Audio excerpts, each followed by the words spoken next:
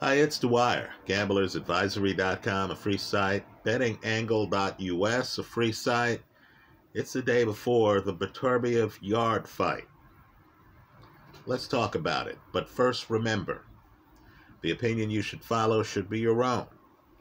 Just consider this video to be a second opinion from a complete stranger online. Now, this fight's alluring, isn't it? I have a pre-fight video up already. I'm going to talk about the odds, many of them from BetMGM here in this video. But here's how I want you to think about the fight. It's inviting. In fact, you get an invite. Right? There's someone you find attractive. And she or he, whatever your fantasy, invites you over. Right? You know they're going out with somebody else, but you're foolish enough to go over there. And of course, you enter, and she has a great bottle of wine. There's some music playing.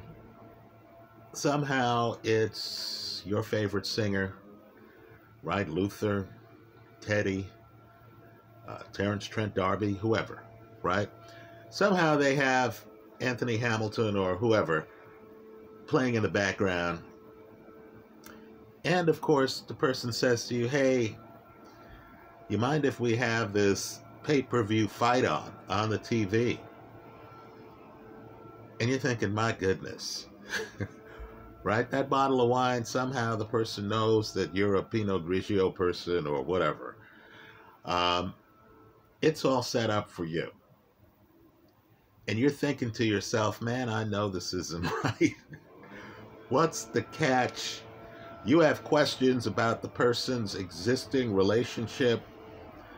The third person who you know they might still be going out with. You're not sure, is this the time to ask? Are you going to go with the flow here or are you going to wreck the mood?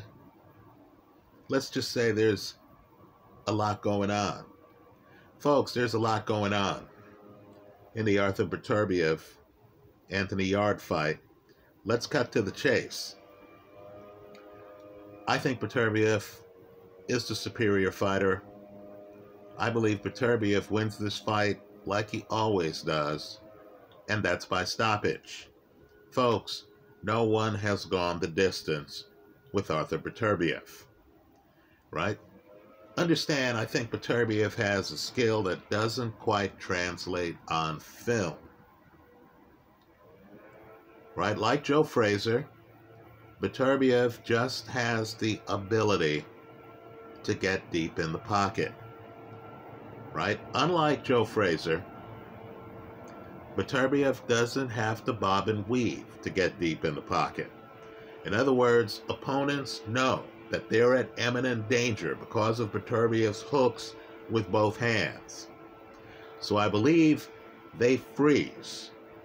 They don't quite know how to handle someone who's hyper aggressive. Understand how good Beterbiev is at it. He was ranked number one. Number one at heavyweight as an amateur. Now keep in mind, in the amateurs you have a super heavyweight division. But understand how confident Beterbiev is. In my favorites folder right now, you're going to find one of the more important fights of the last 15 years, an amateur match between Beterbiev and Alexander Usyk. And against Usyk, Beterbiev, who was ranked number one at heavyweight at the time is aggressively crashing the pocket against Usyk in a way that, let's just say, AJ didn't dare.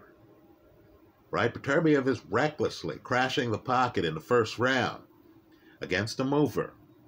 Right? Usyk, despite his punching power, is on the move.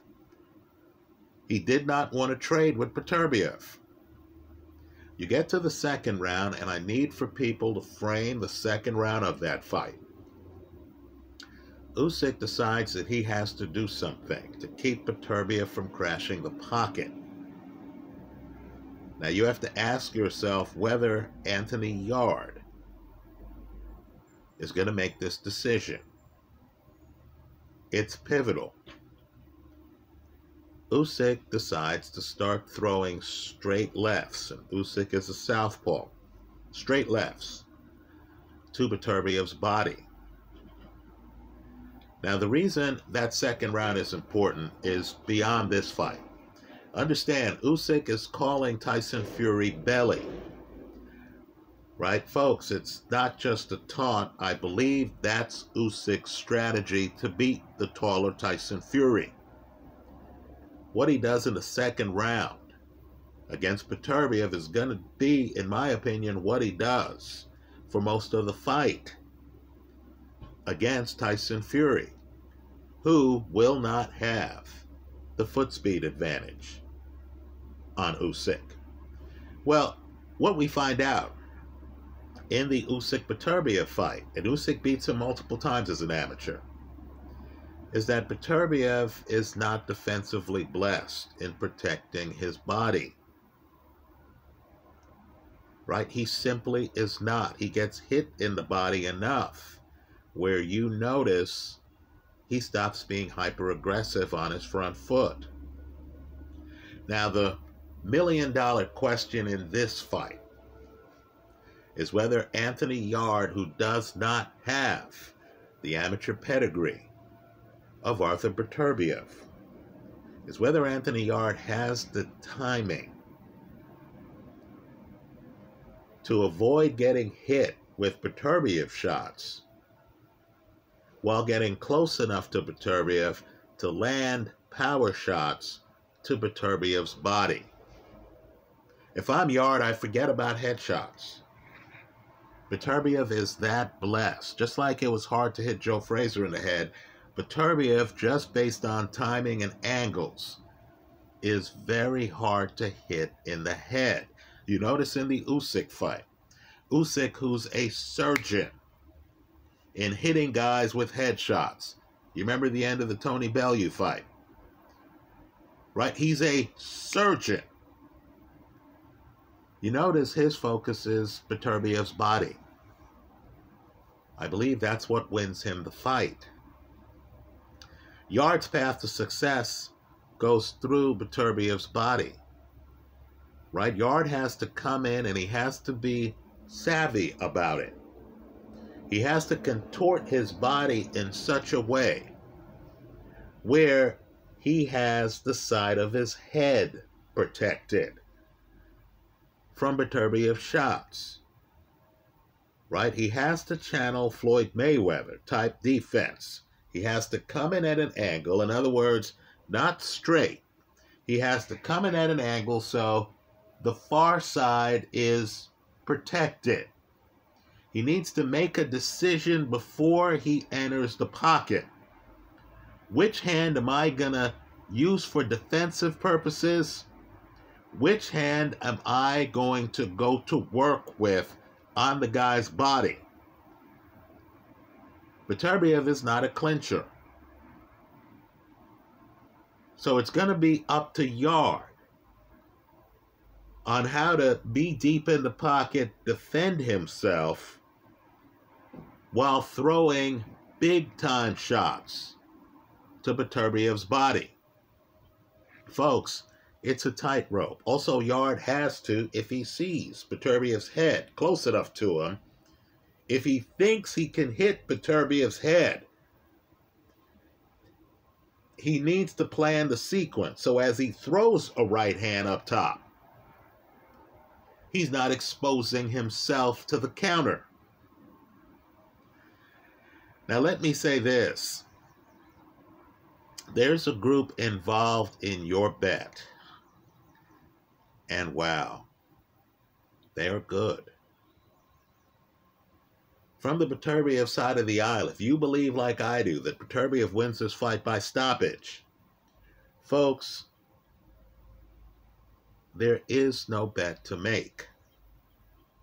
The casino has drained, literally, has drained your betting options away. So, you believe Arthur Beterbiev is going to win by stoppage.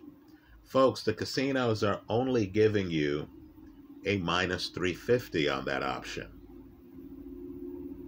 Think about how absurd that is. They're telling you that if these two fought four and a half times, Beterbiev by stoppage would be the result in three and a half of the four and a half fights. I don't believe there's enough value there. The over under five and a half rounds. Folks, that's too low. This fight could easily end in the first or second rounds. That Joe Smith fight, how long did it last? Or the fight could carry a few rounds, as some Beterbiev fights have. Right? The five and a half is simply too low. Let's say you're Einstein and you say, well, the one thing I know is that this fight's not going to go the distance. Two heavy handed guys, two knockout punchers. Folks, the casino has priced that at a minus 800. What's the point in taking those odds? I'd rather invest in silver or Bitcoin than have a one off at minus 800. So if, like me, you believe Beterbiev wins the fight by stoppage, you're all dressed up with nowhere to go. Right? At this stage, with these odds, I would only consider betting on the play if I privately thought that Anthony Yarde is going to win the fight. Now, let's be real here. It's feast or famine for Anthony Yarde. I don't care where the fight is. It could be in Yarde's house. Forget his backyard. It could be in his house. Anthony Yarde's not going to win the fight by decision. He's just not the boxer that Arthur Beterbiev is. Right? Let's stop humoring everyone in the room. Let's stop being PC right? When it's a financial transaction and either you win or the casino wins, there's no room for PC. I don't want everyone to be polite as they're taking my money. There's a defensive side to Arthur Beterbiev's game, right? He's hard to hit in the head. I know it's happened. I'm aware of the Callum Johnson fight right? I personally feel he got knocked down by Marcus Browne. Made a video about it. Right? They're calling things a headbutt and stuff. I'm not sure if I buy that story. I know it's possible, but understand, in most of Beterbiev's fights, he's hard to hit. Usyk has to go to the body to land with regularity against him. By contrast, Anthony Yarde's a guy who could not get out of the way of Kovalev's jab. Contrast Kovalev having a hard time finding Canelo, with Kovalev feasting on hitting Anthony Yarde. So Yarde's not going to win by decision. If you believe that Yarde wins this fight, I believe it's by stoppage. Lord knows the casino is tempting you, right? Just like the woman on the sofa is tempting you with the Pinot. Just understand, here you're getting tempted. It's a plus 650 on Anthony Yarde to win by KO. The way I would structure the bet, since I believe this fight ends by KO, I just think the other guy gets the KO, not Yarde. I would hedge to plus 650. In other words, yes, I'd give away some money. I'd want to break even. I'd want to break even if I lose the bet, right? Since I believe the winner is going to be Beterbiev. So the way I would play this, if I think, if I'm going to bet on the possibility of Yarde winning this fight by stoppage, is to take Yarde by stoppage at a plus 650. Right? I believe the line is enticing. Take Yarde by stoppage at a plus 650.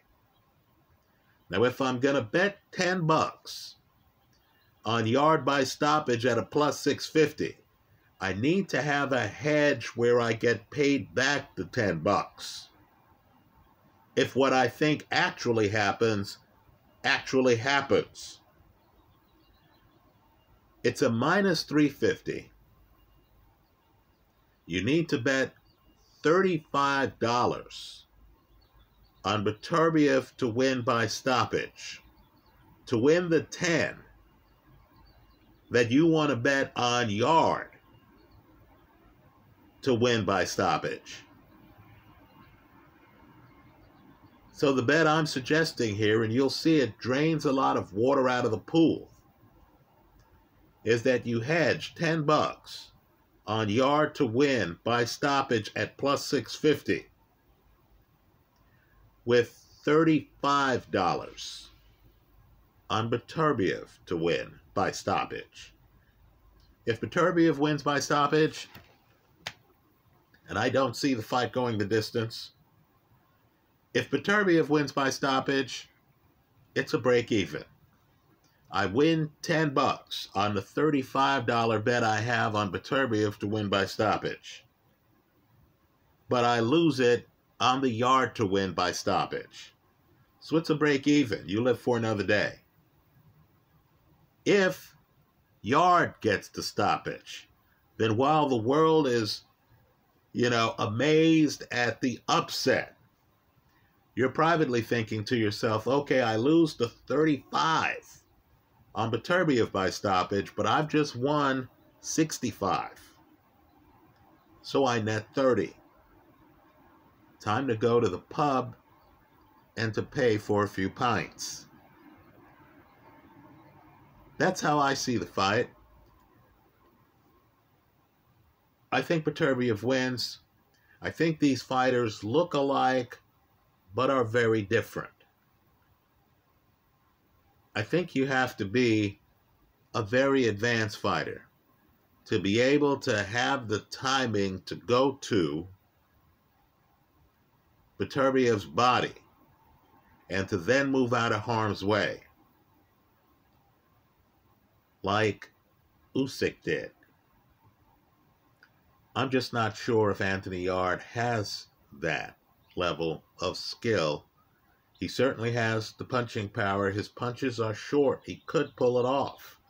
If he times it right and just leans the shoulder in and gets a nice left hook to Beterbiev's body, might be able to pull it off.